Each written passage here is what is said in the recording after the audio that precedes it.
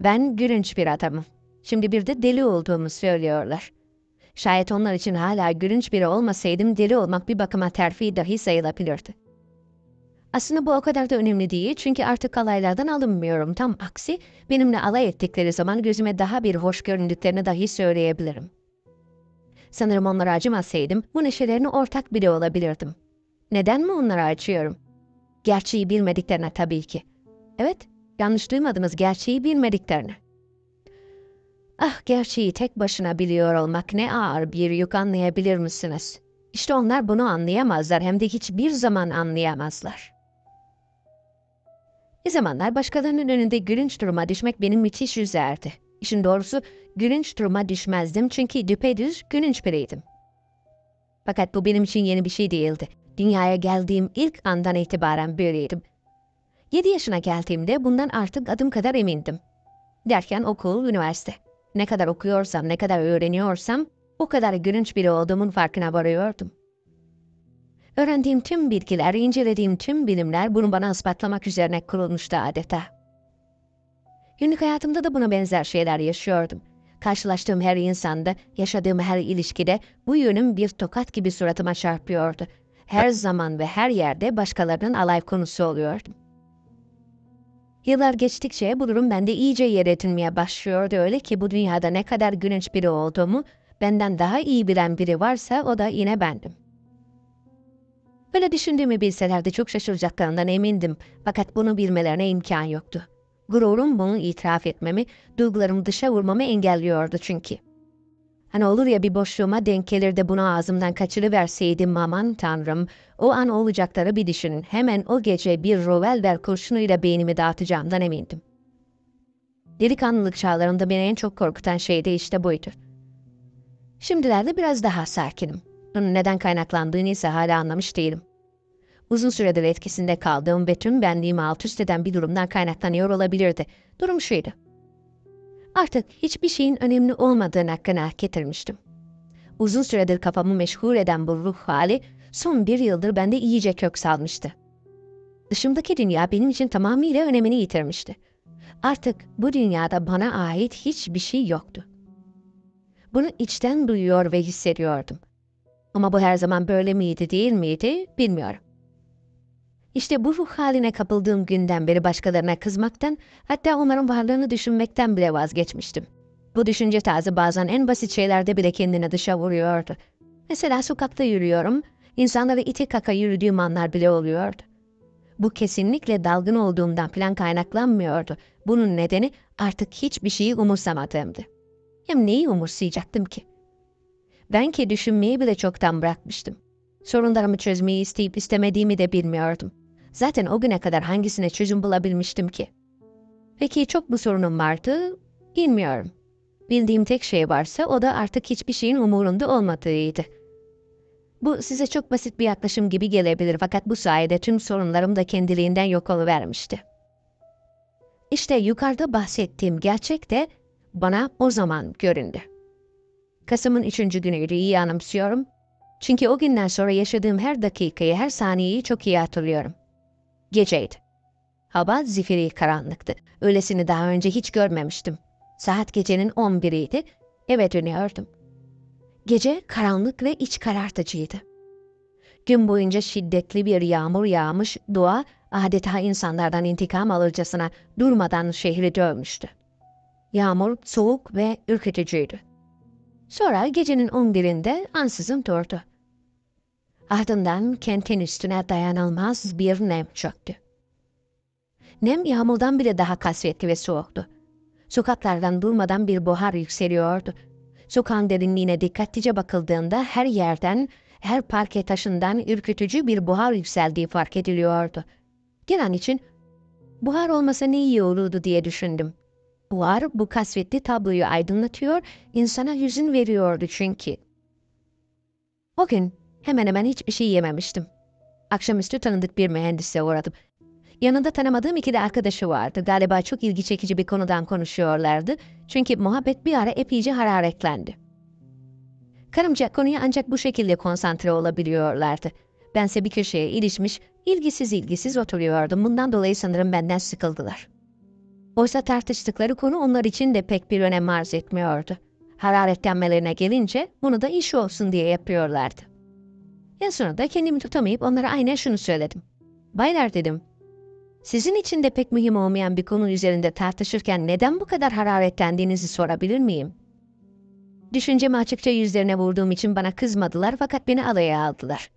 Galiba bunu herhangi bir art niyet beslemeden söylediğimi ve de saçma fikirlerinin beni temelli ilgisiz bıraktığını anlamışlardı. Sokağı kaplayan buharı düşünürken başımı kaldırıp gökyüzüne baktım. Gökyüzü korkunç karanlıktı. Buna rağmen küçülmüş bulutların ve de onların arasından göğün sonsuz boşluğu, dipsiz kara delikler gibi tek tük seçilebiliyordu. O kara deliklerin birinde parlayan bir yıldız ilgimi çekti. Büyük bir dikkatle onu izlemeye başladım. O yıldız bir anda ufkumu açmıştı. İşte o an tam iki aydır üzerinde düşündüğüm bir şeyi uygulamaya karar verdim. O gece intihar edecektim. Bunun için aylar öncesinden biraz paraya kıyıp çok güzel bir revolver bile satın almıştım. İki aydır onu aldığım ilk günden beri hazır bir şekilde çekmecemde duruyor ve onu parmaklarımın arasına alacağım anı bekliyordu. Merak ediyorsanız size daha önce neden intihar etmediğimi de söyleyeyim. Hani artık hiçbir şeyin umurumda olmadığını söylemiştim ya. İşte durumu biraz daha çekici kılmak için bunun böyle olmadığı bir anı bekledim. Yani bu dünyadan ayrılmadan önce benim de kendime dert ettiğim bir şeylerim olmalıydı. Neden mi? Bilmiyorum.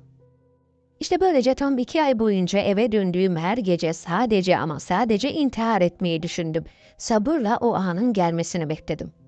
Ve işte sonunda o an gelmişti. Bunu bulutların arasında tüm yalınlığıyla görünen o yıldız bana söyledi. Neden mi?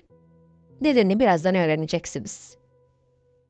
Sokağın ortasında durmuş büyük bir dikkatle o yıldıza bakarken aniden küçük bir el kolumu yakaladı. Döndüm. Küçük bir kız çocuğuydu bu. Sokak bomboştu. Etrafta kimsecikler yoktu. Yalnızca biraz ileride bir arabacı hafif yaylı arabasının üstünde kıvrılmış uyuyordu. Kız 7-8 yaşlarındaydı. Başında bir şal, üstünde ise yürekler acısı incecik bir elbise vardı. Sırılsıklamdı. Ayaklarında pabuçları paramparçaydı. Nedense en çok da parçalanmış pabuçları dikkatimi çekmişti. Kolumu çekiştirip ağlamaya başladı. Kesik kesik ağlıyor, bir şeyler söylemeye çalışıyordu. Fakat zavallıcık soğukta titrediği için düzgün konuşamıyordu. Bir şeylerden çok korkmuş olmalıydı. Gözlerime bakarak ansızın annem annem diye bağırmaya başladı. Hiçbir tepki vermeden döndüm ve yoluma devam ettim. Arkamdan yetişerek beni yeniden yakaladı. Sesinde çok korkmuş çocukların çaresizliği vardı ve ben bu sesi çok iyi tanırım. Bana henüz hiçbir şey söylemediği halde ben onun sesinden annesinin bir yerlerde ölmek üzere olduğunu ya da çok kötü bir durumda olduğunu anlamıştım. Zavallı çocuk sokağa koşmuş yardım için birilerini arıyor olmalıydı. Yardıma gitmek şöyle dursun bir an onu yanımdan uzaklaştırmayı bile düşündüm. Gidip yetkili birilerini bulmasının daha iyi olacağını söyledim. Bunu duyar duymaz elini kolumdan çekti, ellerini kavuşturdu, adeta nefesi kesilircesine hıçkırarak ağlamaya başladı fakat yanımdan ayrılmıyordu. Ancak onu korkutmak için ayağımı sertçe yere vurarak bağırdığım zaman beni bıraktı ve rüzgar gibi sokağın içine doğru koşmaya başladı. Koşarken de bir yandan bayım bayım diye bağırıyordu. Sanırım yoldan geçmekte olan başka birini görmüş ve beni bırakıp ondan yardım istemeye koşmuştu. Küçük kızı kendi haline bırakarak kirada kaldığım beşinci kattaki odama çıktım.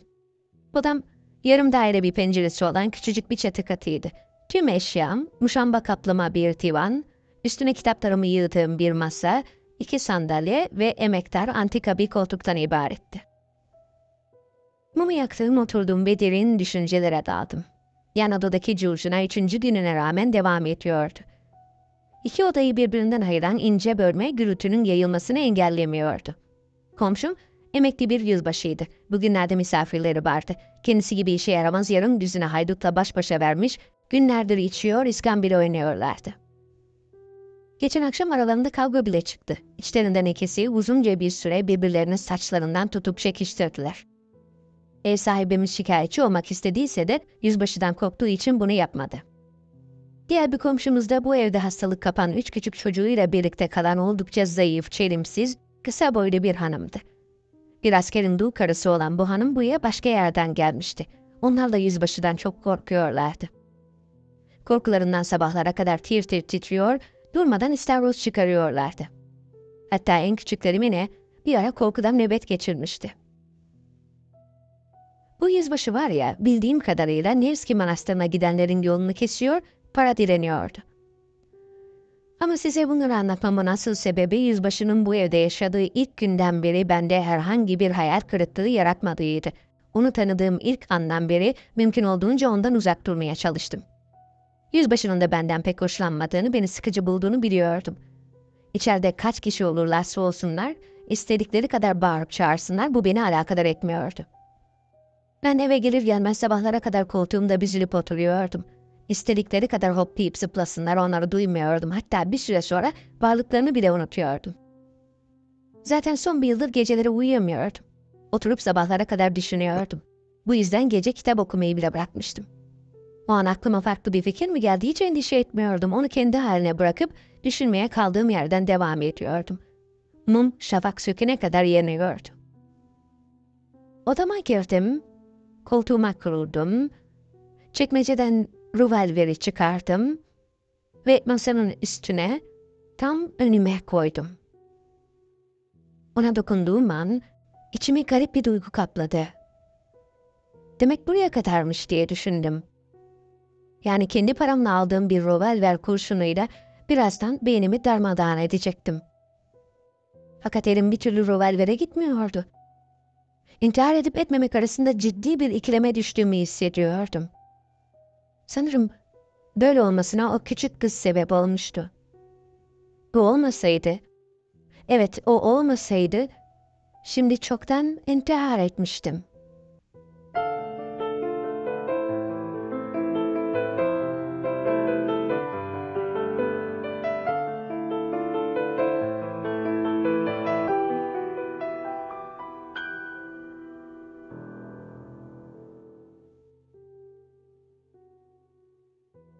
İki.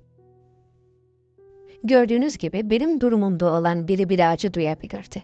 Acı duymak ahlaki bir durumdur çünkü. Çok kötü bir şey olsa elbette acıma duygularım kabarırdı. Tıpkı bir zamanlar her şeye boş vermediğim günlerdeki gibi. Evet, o kızcağıza acımıştım. İyi de onun çığlıklarına nasıl ilgisiz kalmıştım. Peki ya buna ne demeli? Onun yardımına koşmama o an kafamı kurcalayan bir düşünce engel olmuştu sanırım. Demek istediğim kızcağız kolumu çekiştirdiği sırada ben, karşıma çıkan ve cevabını bulmakta hayli zorlandığım bir soruyla meşguldüm. Belki gereksiz bir soruydu bu ama yine de sinirlerime engel olamıyordum. Sinirlendiğim şey şuydu. Birkaç saat sonra hayatına son verecek biri için etrafında olup biten şeylerin hiçbir önemi olmamalıydı. Hatta dünyaya tamamen boş vermiş olmalıydı. Yanlış mı düşünüyorum? Öyleyse ne diye durup dururken o küçük kıza acımıştım. Ona çok hem de çok acımıştım. Benim durumunda olan biri için normal sayılamayacak bir ruh haliydi bu. Doğrusu o an hissettiklerimi tam olarak ifade etmekte zorlanıyorum. Kaçıp eve gelmeme rağmen o duygu bir türlü peşimi bırakmıyordu. Daha önce hiç olmadığım kadar üzünlenmiştim. Kendimle muhakeme halindeydim. Bir soru yeni bir soru doğuruyordu. Madem ben de herkes gibi bir insandım, bilincim hala yerindeydi ve henüz yaşıyordum, o halde benim de herkes gibi acı çekmem, öfkelenmem, yaptıklarımdan utanç duymam doğal sayılmaz mıydı? Fakat yine de aklımı kurcalayan bu sorulardan kurtulamıyordum. Biraz sonra intihar edecek olan biri için hayatını, yani bilincinde ve algılarında var olan her şeyini kendi elleriyle sonlandırmaya karar vermiş biri için yolda karşılaştığı bir kızcağızı düşünmek ve davranışlarından utanç duymak sizce de biraz tuhaf değil mi? Birazdan öleceğini yani tamamen yok olacağını, kendisi için artık hiçbir şeyin var olmayacağını bilen bir şuur, küçük bir kıza duyulan acıma duygusunu ve de ona yaptıklarından utanma hissini bastıramaz mıydı? Sana acıdığım halde böylesine zalimce bir kötülük yapabiliyorsam içim rahat çünkü iki saat sonra benim için her şey bitmiş olacak diye avazım çıktığı kadar bağırmamın nedeni demek buydu. Sırf bu yüzden bağırdığıma gerçekten de inanıyor musunuz? Ben inanıyorum. Yaşayıp yaşamamak şimdi tamamen bana bağlıydı. Benim algılarımdan ibaret olan dünya birazdan benimle birlikte yok olup gidecekti. Yani en azından benim için. Demek istediğim yok olan sadece ben ve algılarımdaki dünya olacaktı. Oturmuş kendi kendime bunları tartışıyorken en sonunda ardı arkası kesilmeyen bu soruları elimin tersiyle bir kenara itiverdim ve daha önce hiç aklıma gelmeyen başka bir konuya geçtim. Konu şuydu. Düşünün, Ben Ay'da ya da Mars'ta yaşıyorum ve orada hayal bile edemeyeceğiniz kadar yakışıksız, hayal bile edemeyeceğiniz kadar çirkin, yüz kızartıcı bir suç işledim. Bundan dolayı da bir insanın ancak rüyada ya da kabuslarda görebileceği cinsten bir cezaya çarptırıldım ve bir daha dönmemek üzere buraya yani yeryüzüne sürdüm. Şimdi bu durumda ben geçmişimi unutabilir miydim? Yani yeryüzünden eski dünyama aya bakarken geçmişim benim için bağlayıcı olabilir miydi? Benim için dönüşü artık imkansız olan bir gezegene bakarken orada yaptıklarımdan utanç duyabilir miydim? Biliyorum. Boş ve aptalca sorular bunlar. Fakat aklımı kurcalayan ve sinirlerimi alt üst eden bu saçma sapan sorular yüzünden ciddi bir kararsızlığa düşmüştüm. Bu durumda artık kesinlikle intihar edemezdim.